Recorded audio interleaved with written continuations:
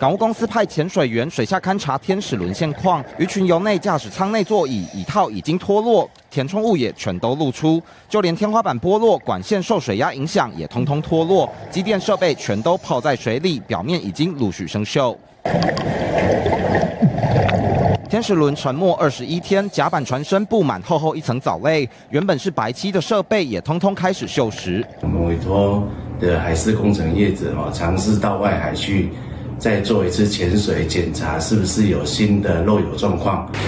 不六级天使轮上个月二十一号在高雄外海沉没，数百只货柜漂流在海上，阻碍航道，也造成五百吨油料外漏。考量航运安全疑虑与生态危机，台湾港务公司紧急代为处理。目前预估清除货柜的费用大约是一亿元，残油处理费用约两亿。港务公司也表示，如果船东想要赖账，已经做好要打跨国官司的求偿准备。明天如果船东没有按港务公司要求的这个期限提出合约的相关文件，港务公司这边就会依照三港法来代为执行。这个抽油的作业，天使轮造成海洋生态危机，海保署开出罚单，总计才罚一百九十万元，但是迟迟没有收到罚款，后续清理大工程，船东难辞其咎，得要负起全责。金星我黄奇阳谢嘉玲蔡玉如采访报道。